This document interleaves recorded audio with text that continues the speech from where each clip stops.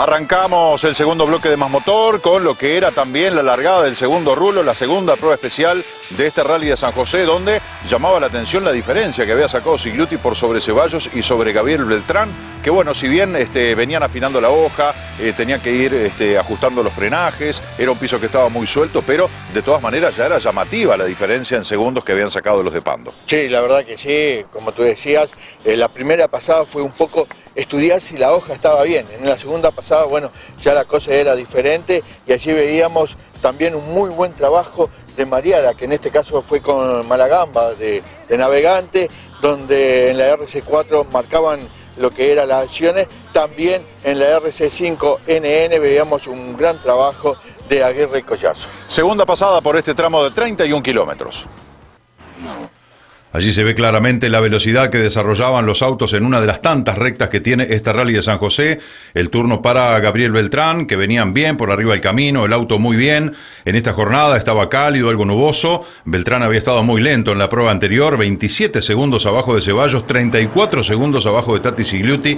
Bueno, teníamos el abandono de eh, González Rodríguez y Gallinal Vaso, que no habían largado la prueba especial número uno. Reyes con una caja estándar. Ferrer, que había abandonado en la prueba especial número uno con un fuera de ruta y la rotura, entre otras cosas, del parabrisa. Aquí vemos a Rodrigo Ceballos con Sebastián Dota, segundo tiempo de la categoría. No había caso, ¿eh? no le podían dar con la tecla a lo que era este tramo veloz y no podían superar los tiempos de Sigliuti y Correa. Ceballos quedaba en la segunda posición, Beltrán marcaba el cuarto tiempo a 20 segundos 7 décimas de la punta. Rodrigo Ceballos a 12 segundos 9 décimas del tiempo de la punta que era para Santiago Sigliuti. Ceballos que venían bárbaro, el auto se le había apagado en plena recta, era un inconveniente que tenían, y aquí vemos a Sigliuti muy contento. Decía que estaban un poco tensionados porque había muchísimo público en los caminos, algo que es muy positivo, pero que les obliga a redoblar la concentración a las tripulaciones eh, viajando a una velocidad eh, tan importante, ¿no? Andaban en el entorno de los 130 kilómetros por hora de promedio, según informaba el colega Mario Rosa a través de la transmisión de todo motor. Sigliuti Correa, mejor tiempo en esta prueba especial de polímeros de 13, perdón, 31 kilómetros 600 metros. Y aquí estamos viendo a padre e hijo, Arrieta, los Arrieta, de Guillermo y Federico Arrieta, muy fuerte, andando muy bien. Estaban muy contentos porque el problema que habían tenido en las competencias anteriores de que se le, eh, se le quedaba el auto, no tenía potencia, no había sucedido y eso lo llevaba a estar más motivado, según lo que nos manifestaba luego de este primer día de este rally de San José. Excelentes tomas de más motor, para que usted lo viva a pleno. Recordamos aquí falta el auto de González y Rodríguez que no habían largado el día sábado. Exacto, y aquí estamos viendo César Reyes, Pablo Vieito, el Subaru, que quedaban en el quinto lugar a 3 minutos 16 del mejor registro de Sigluti Correa, que venían haciendo una extraordinaria competencia, indudablemente. Aquí Andrés Fontana, Ignacio Santesteban, venían cuidando el auto, sabiendo que todavía quedaba mucho rally. Y bueno, tenían que administrar la potencia porque ellos saben que, que llegando y estando más o menos arriba, el campeonato es muy difícil que se le escape en referencia a la, a la RC4. El, habían marcado el tercer tiempo a 11 segundos 8 del mejor registro que era el de Gamboa Icardi. Andrés Mariara con eh, su navegante Fernando Malagamba. Le había salido redondo el tramo, dijo Andrés, inclusive dijo, no tenemos más nada para dar. En la siguiente pasada bajaban 20 segundos, el tiempo que marcaron en esta, que fue el segundo de la categoría, a 4 segundos 3 décimas de Gamboa y Aicardi. Tito Gamboa rompía los relojes marcando el mejor guarismo con este viejo Honda Civic y que bueno, todavía tenía los frenajes largos, es decir, que todavía le quedaba algo por mejorar. De todas maneras, el mejor guarismo para ellos en esta prueba especial, mantenían una segunda posición en la general, estaban a 12 segundos y medio de Mariara y Colet, que hasta la prueba especial número 2 inclusive encabezaban la RC4.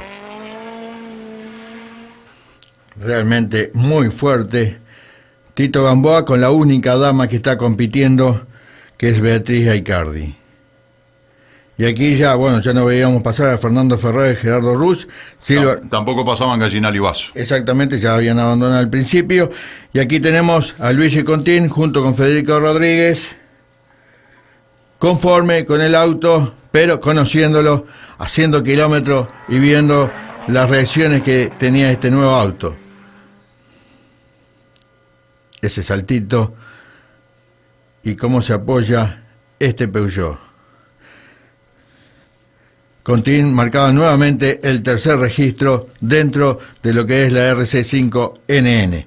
Y Alfaro Errasquín, fuertísimo, como siempre, cuando tiene el auto, esta tripulación anda muy, pero muy fuerte, que marcaba en el segundo tiempo a 7 segundos 7 de los que estaban en la punta de esta carrera y a 13 segundos 8 décimas del tiempo de este Contini Rodríguez, ¿no? Es decir, que eh, con la diferencia que tenían eh, ya era muy notorio de que algo sucedía. Evidentemente, aquí vemos a Nicolás Aguirre con Richard Collazo que venía sin dirección hidráulica y que meter brazo, ¿no? Porque andar en estos autos a esa velocidad con curvas tan cerradas, eh, sin dirección hidráulica, era un esfuerzo adicional para Nico Aguirre, que aún así marcaban el mejor tiempo en la RC5NN en esta prueba especial con 17 minutos 28 segundos 9 décimas y conservaban el primer lugar dentro de la categoría, disputadas dos pruebas especiales a 8 segundos 3 décimas de Alfaro y Raskin en la general. Y aquí el debutante, Diego Contín, que, este, perdón, aquí viene Enrique Candiota. Diego Contín venía este, más adelante, Enrique Candiota con Hamilton Barreto, quinto tiempo de la categoría, 23 segundos y medio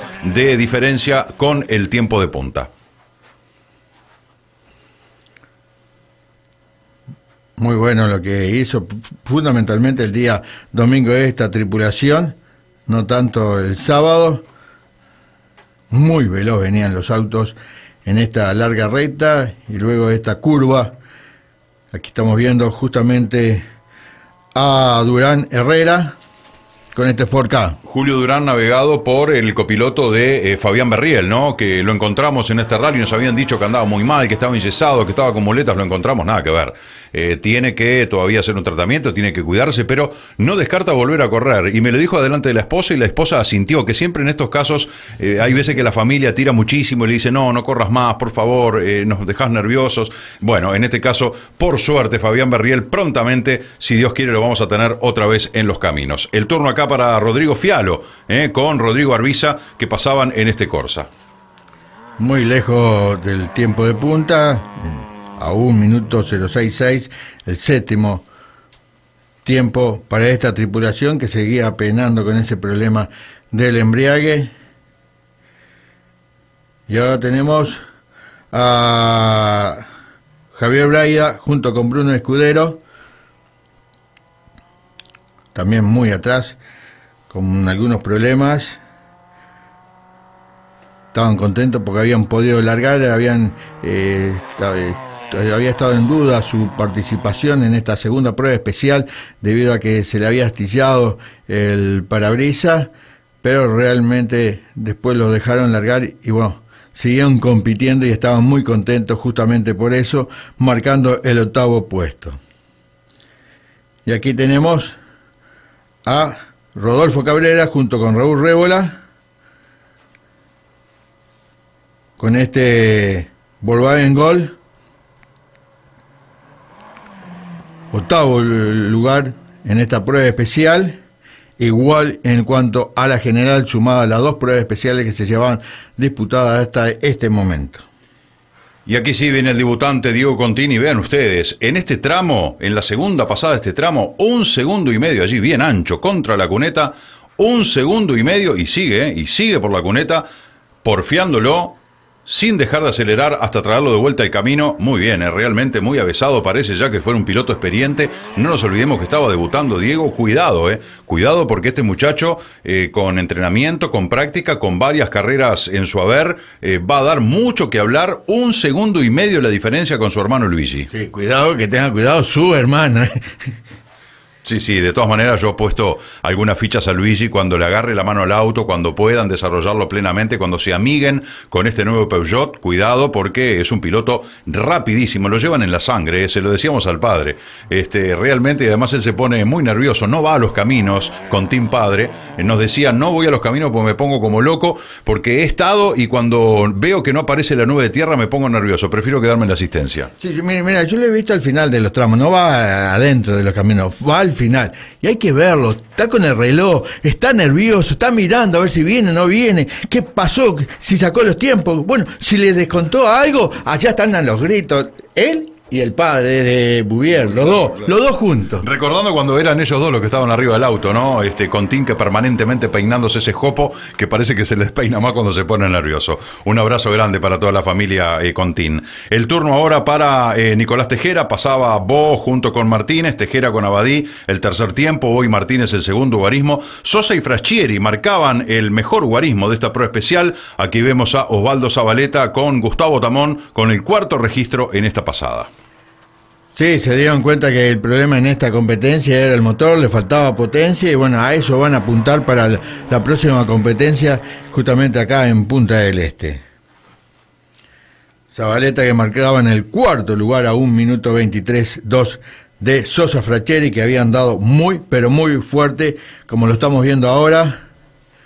Ahí viene la zona de frenaje, doblando y nuevamente acelerando para lograr un tiempo muy bueno dentro de lo que era la RC 1600. Incluso haciendo señales. Saludito, ¿no? El saludito de Fede Sosa para nuestras cámaras en esta ocasión estábamos en ese punto solo nosotros como medio, después hubo otros colegas, incluso en esta pasada que estaban en otro punto, pero agradecemos a Fede siempre que puede tirando un saludito. El último auto, el de Curvelo y Atay, le saltaba un cambio a Curvelo eh, en este Lada Samara, bueno, sigue dando que hablar. Cuando llegaron a la asistencia tenían 24 cosas para reparar, porque además reparaban uno y le saltaba otro problema, y así iban corriendo la libre de atrás, pero bueno, podían cerrar eh, un sábado dignamente para eh, participar de el día domingo.